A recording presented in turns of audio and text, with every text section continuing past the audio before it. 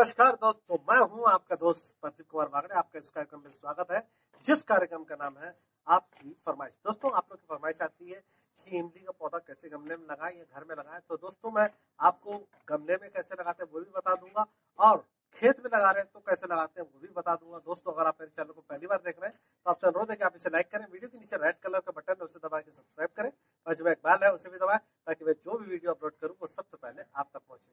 तो सबसे पहले मैं आपको इमली का पौधा दिखा देता हूँ दोस्तों।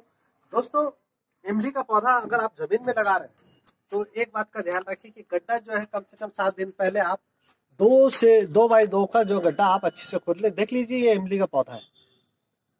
तो इसमें किस तरह से खाद डालना है, वो मैं आपको आगे बताऊँगा। तो ये इमली का पौधा अच्छे से देख लीजिए। और खाद क्या डालना है, वो मैं आपको आगे बताऊँगा कि ज़मीन में लगा रहे हैं तो क्या खाद डालें?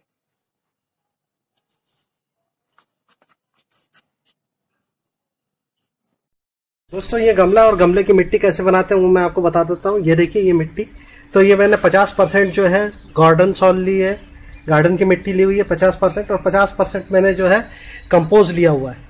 अगर आपके पास कंपोज नहीं है तो आप गोबर की खाद भी डाल सकते हैं। इसके अलावा मैंने क्या डाला है वो मैं आपको बता देता हूँ। जैसे आप ये देख रहे हैं, ये डीएपी है। दिखा देता हूँ।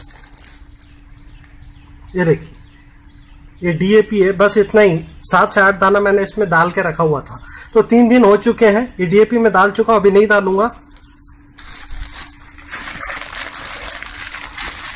इसके अलावा ये देखिए, नीम खली है। तो इसको मैंने एक बड़ा चम्मच मैंने डाला था, नीम खली। तो ये भी तीन दिन पहले ही डाला था और मिला के रख दिया हूँ मैं। और इसमें खाने का चूना, एक चूने के मतलब एक चना होता है उसके बराबर।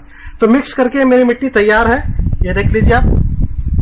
तीन दिन हो चुके हैं। अब मैं इसमें पौधा लगाऊँगा। तो इसके लिए मैं क्या प्रोसेस है आगे बताता हूँ। तो दोस्तों, ये गमला और गमले में देखिए, ये होल देख रहे होंगे आप। ये ज़रूर आप होल कीजिए आप।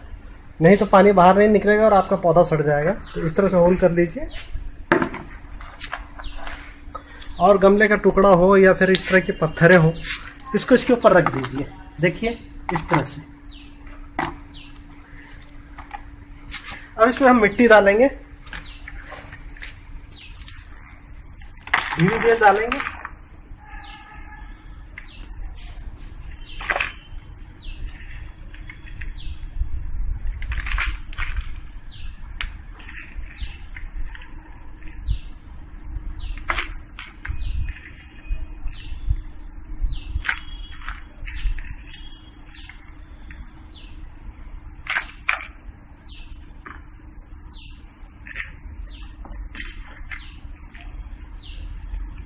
अब हम अपना पौधा चेक करेंगे इसमें।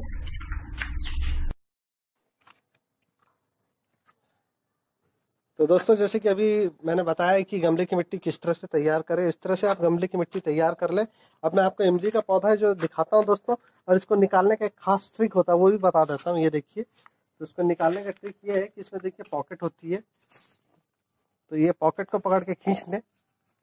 क्योंकि ये पूरी तरह से फटा हुआ है, इसलिए हम इसमें पॉकेट नहीं, हम बल्कि प्लास्टिक फाड़ देंगे। इस तरह से।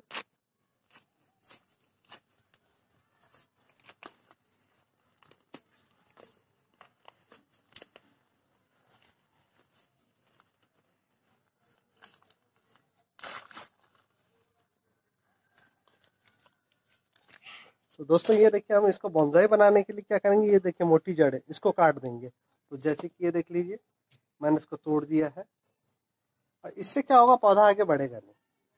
अब हम इसको लगाएँगे। तो लगाने के लिए मिट्टी का रेशो मैं बता चुका हूँ। अब इसको सेंटर बीचों बीच लगा देंगे।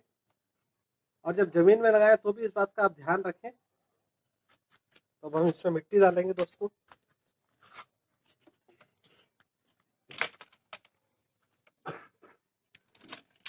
मिट्टी डालेंगे इस तरह से। और फिर पानी डालेंगे।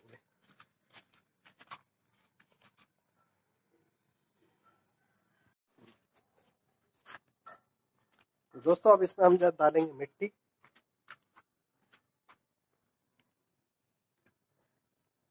तो दोस्तों, इस तरह का जब भी कोई काम करें तो इस बात का ध्यान रखें कि शाम के समय करें, ताकि पौधा जो है अच्छे से एक्टिवेट हो जाए।